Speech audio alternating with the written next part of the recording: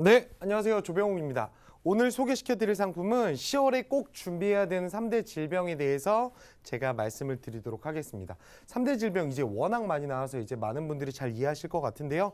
그래도 다시 한번 짚고 넘어가도록 하겠습니다. 일단은 대한민국 사망 통계입니다. 우리나라 사망률 1등은 암, 2등은 뇌혈관 질환, 3등은 심장 질환이에요. 우리나라의 사망률의 50% 이상을 담당하고 있는 이세 가지 질병, 이거를 즉 저희는 3대 질병이라고 합니다. 3대 질병이 도대체 뭐냐? 암, 뇌질환, 심장질환, 의료실비 다음으로 가장 중요한 요소들인데요. 일단은 암부터 어떻게 가입을 해야 하는지 제가 간단한 팁 알려드리도록 하겠습니다. 일단은 대장전망내암, 유방암, 생식기암 모두 일반암으로 분류되는 회사 찾기 이렇게만 들어보면 단어도 생소하고 굉장히 어려우실 것 같아요. 그래서 어떻게 쉽게 설명드리자 저도 고민을 해봤는데요. 일단은 모든 보험회사가 모든 암을 보상을 해주는 건 아닙니다. 예로 들어서 어 암은 보상해 줍니다. 단 뭐 생식기 남자 같은 경우는 전립선, 방광, 고환암 같은 경우는 저희 가입되어 있는 금액의 절반만 주겠습니다. 혹은 뭐 유사암 갑상선암은 300만 원만 주겠습니다. 사실 저희가 몇 천만 원인 줄 알고 가입했던 암보험이 뭐 300만 원만 주겠다. 이런 경우들이 다반사거든요. 그래서 대장전망내암, 유방암, 생식기암 그 외 모든 암들도 모두 다 일반암으로 분류돼서 우리가 약속되어 있던 금액을 받는 보험으로 준비하셔야 된다. 이렇게 살펴보시면 될 것 같아요. 그리고 암 수술비, 암 입원 일당, 항암 치료비보다는 진단금으로 준비하시는 게 좋을 것 같습니다. 일단 첫 번째 이거 보험의 기본적인 상식을 좀 알고 가면 좋을 것 같은데요. 우리가 암이 걸렸습니다. 암보험은 전혀 없는 상태에서 실비보험만 있었습니다. 이랬을 때 암보험이 보상이 가능할까요? 정답은 물론 가능합니다. 암으로 발생되는 치료비도 입원하고 통원하고 약국 가겠죠. 본인 가입 연도에 따라서 자기 부담금만 틀릴 뿐 의료 실비에서 암으로 인한 수술비, 입원 병실료, 심지어 밥값까지도 그리고 항암 치료비 전부 다 수술비 모두 다 보상을 해줍니다. 그래서 암에 대한 치료비에 대한 걱정은 크게 없으실 텐데 그러니까 많은 분들이 실비 다음으로 암보험을 준비하시는 이유가 뭐냐면 어 제가 만약에 암이 걸렸어요. 암이 걸렸는데 어 저희가 치료비는 실비가 커버해주기 때문에 뭐 문제될 건 없을 것 같아요. 그런데 제가 직장을 다니진 못하겠죠. 그때 발생되는 휴업 손해비로 사용하라 이렇게 해서 이제 암보험을 구성하는 건데 수술비 입원일 당 항암 치료비 전부 다 실비가 준비해 줍니다. 때문에 우리 진단금으로 준비하셨으면 좋을 것 같아요. 왜 그러냐면 암 진단금은요 생존하던 수술하던 항암 치료하던 입원 치료하던 통원 치료하던 상관없이 진단만 받으면 주거든요. 근데 반면에 암 입원 일당은 암으로 진단을 받고 그 직접적인 치료로 입원을 하는데 4일이 초과하는 순간부터 10만 원 혹은 20만 원 주겠습니다요.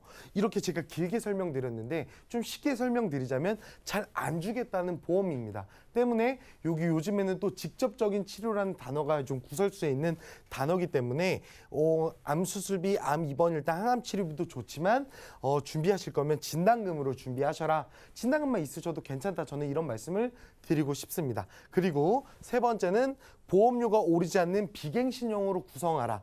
이런 분들이 있어요. 어, 30대 남성분이세요. 어, 제 거 보험은 안보험이 만 원밖에 안 해요. 근데 1억 원 보상을 해준답니다. 너무 좋아요. 어, 물론 1억도 보상하고 보험료도 저렴하면 좋겠지만요. 보험료가 저렴한 데는 사실 이유가 있거든요. 제가 생각했을 때 그분은 갱신형으로 가입을 하셨던 것 같아요. 그런데 지금 당장 30대, 20대, 10대 혹은 40대 초반도 암에 걸릴 확률이 그렇게 높지 않다라는 거예요. 때문에 보험료가 저렴할 수 있는데 갱신형으로 준비했을 때 나중에 정말 보험료 폭탄처럼 눈덩이처럼 불어나는 보험료를 보실 수 있을 것 같아요. 그래서 암은요 상대적으로 나이가 있으실 때 더 많이 가입 그 질병이 발병되시잖아요. 때문에 보험료가 오르지 않는 비갱신형으로 꼭 준비하셨으면 하고요. 마지막은 CI 보험은 피하라예요. 용어가 좀 틀려요. 리빙케어라는 회, 사명을 쓰는 보험도 있고요. 그냥 CI라는 보험도 쓰는 보험들도 있습니다. 근데 H사의 어린이 보험에 CI 들어가는 그 보험은 좋습니다. 근데 CI 보험은 뭐냐면 critical illness의 줄임말이에요. 중대한 질병을 보상을 해줘야 한다. 이런 얘기인데요. 예로 들어볼게요. 제가 암에 걸렸어요. 보험금을 지급받아야 되는데 중대한 질병, 중대한 암이 아니시기 때문에 보험금을 지급 못하겠습니다. 이런 사례들이 빈번하거든요. 때문에 CI 보험이 아니라 모든 암을 보상되는 일반 암으로 준비하셔야 된다. 이렇게 암보험은 간단한 팁 말씀드리도록 하겠습니다. 그리고 이제 뇌질환이랑 심장질환 팁도 한번 볼게요. 어, 뇌혈관 질환 진단비, 허혈성 심장 질환 진단비를 준비해라. 이렇게 제가 좀 말씀을 드리고 싶은데요. 일단은 제가 분류표를 한번 볼게요. 뇌혈관 질환이 있고요. 뇌졸중이 있고요.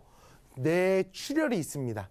쉽게 설명드려서 이 혈관에 있는데 문제가 생기면 뇌혈관 질환이에요. 근데 이 혈관의 문제가 커져서 혈관을 막아버렸다. 뇌졸중입니다.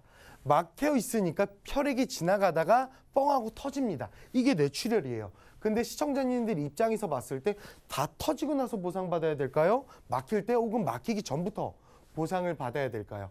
이런 느낌이라고 보시면 될 것 같아요. 그래서 어, 암과 마찬가지로 뇌질환, 심장 질환도 보상 범위가 가장 넓은 뇌혈관 질환, 허혈성 심장 질환 진단비 준비하셔야 된다. 이렇게 말씀을 드리고 싶고요. 한 살이라도 어릴 때부터 준비하셔야 돼요. 일단 뇌혈관 질환, 허혈성 심장 질환도 마찬가지지만 암보험 같은 경우는요. 암에 발병되셨던 분들도 가입이 가능한 암보험들이 이제는 있어요. 근데 뇌질환, 심장 질환은 유병력자들도 가입은 가능하지만 예전처럼 건강체, 건강하신 분들처럼 가입이 쉽진 않습니다. 때문에 어릴 때 준비하시면 좋을 것 같고요. 보험료가 오르지 않는 비갱신으로 준비하잖아요. 한 살이라도 어릴 때 준비하시는 게 훨씬 더 쌉니다. 그러니까 예로 들어서 우리가 20대면은 3만 원이면 3만 원만 20년 내면 될 텐데 우리가 60세에 준비한다? 정말 필요한 시기이긴 하지만 그때는 10만 어, 원씩 20년 내야 된다. 차이가 어마어마합니다. 아, 보험료 7만 원 차이가 아니라 7만 원씩 20년 납입을 차이가 나니까 엄청 큰 차이다. 마찬가지로 CI 보험은 피하셔야 된다. 이렇게 말씀을 좀 드리고 싶습니다. 이것으로 암보험 가입 팁 간단하게 설명드렸고 뇌질환, 심장질환 가입 팁 간단하게 말씀을 드렸습니다. 심장질환도 마찬가지로 허혈성 심장질환 진단금이 협심증이 보상이 된다. 요거는 꼭 알고 계셔야 할 팁일 것 같습니다. 그래서 제가 상품을 하나 준비해 드렸어요. 가입 대상 실비만 있으시거나 준비된 보험이 만기가 짧거나 갱신형이신 분 그리고 뇌출혈만 가입되어 있으신 분들 그리고 CI 보험 그리고 암의 범위가 작으신 분들은 좀 잘 보시면 될 것 같아요. 상품 특징으로는요. 무해지 환급형으로 표준형보다 뭐 20%에서 40% 저렴할 거고요. 일반암 최대 5천만 원, 뇌혈관 허혈성 최대 5천만 원인데 이거는 나이에 따라 좀 상이합니다. 그리고 질병 후유 장애 및 각종 수술비 입원 일당 원하시는 특약들은 모두 다 넣으실 수 있다라고 보시면 될 것 같아요. 보장 내용을 볼게요. 제가 근데 오늘 아까 주제에 보면은 10월에는 꼭 가입해야 된다 이렇게 말씀을 드렸거든요. 그 이유에 대해서도 같이 설명드릴게요.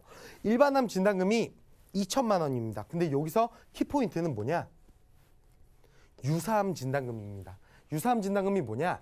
기타 피부암, 갑상선암, 경계성 종양, 제자리암 이것들은요. 원래 지금 보험의 증권들을 집에서 갖고 계신 분들은 보시면 더 좋을 것 같아요. 일반암 진단금 옆에 이렇게 유사암 제외라고 써져 있어요. 그리고 그 아래에 유사암이라고 써져 있거든요. 그러니까 뭐냐? 이 네 가지 암 갑상선암, 기타 피부암, 제자는 경계, 경계성 종양은 2천만 원이 아니라 200만 원 혹은 300만 원, 400만 원, 500만 원만 보상한다는 얘기거든요. 근데 유사암 진단금이 2천만 원, 일반암 진단금이랑 똑같다. 이거는 뭐냐면 2009년도처럼 갑상선암도 일반암으로 분류가 된다라는 거예요. 분류가 되진 않지만 똑같은 금액을 받는다는 거예요. 기존에 가입하셨던 분들은 뭐 제자리암, 경계성 종양, 경계성 종양은 이제 암과 이게 뭐 그냥 양성 종양이랑 경계에 있다고 해서 이제 양, 경계성 종양이라고 하는 건데요. 이 경계성 종양 같은 경우도 암으로 진단을 받기가 어려워요. 그래서 유사암 200만 원, 300만 원 나오셨던 분들 굉장히 많으실 거예요. 그리고 갑상선암도 2009년도 이후에는 이렇게 1천만 원 이상 지급받는 회사가 없습니다. 근데 다만 이번 10월 달까지만일 것 같아요. 그래서 일반암이랑 유사암이랑 똑같이 진단금을 나온다. 이게 키포인트일 것 같고요. 뇌졸중, 뇌혈관 질환비, 뇌혈관 진단비 각각 천만 원씩 그리고 심근경색이랑 허혈성도 마찬가지로 천만 원씩 구성해서 2천만 원, 암 2천만 원, 뇌 2천만 원, 심장 2천만 원 이렇게 좀 준비를 했다고 보시면 될 것 같아요. 또 중요한 게 보험료잖아요. 보험료 제가 25년 납으로 체크했는데 20년 납입니다. 20년 납 100세 만기고요.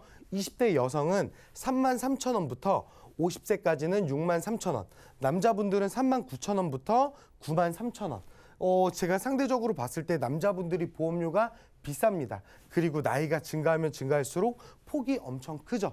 3대 질병이 명확한 노인성 질환이라서 생각하시면 될 것 같습니다. 그래서 이 금액대로 보시고 어, 여기 아까 플랜은 2천만 원인데 나는 우리 가족력도 있어서 4천만 원을 원한다 생각이 되신다면 이 고- 금액의 두 배 정도 생각하시면 될 것 같아요. 그래서 자, 자기에게 원하는 맞춤 보험료로 설정을 하셔서 준비하시면 될 것 같고요. 마지막 최종 정리를 좀 해드리자면 보험료가 오르지 않는 100세 만기로요. 무해지 환급형으로 보험료도 저렴합니다. 그리고 20년 납 100세 만기 기준으로 제가 보험료를 안내 드렸지만 보험료가 조금 부담스러우신 분들은 납입 기간을 길게 가져가셔도 된다 이렇게 말씀을 드리고 싶고요. 그 외적으로 질병우유 장애 요즘 유행하는 보험이죠.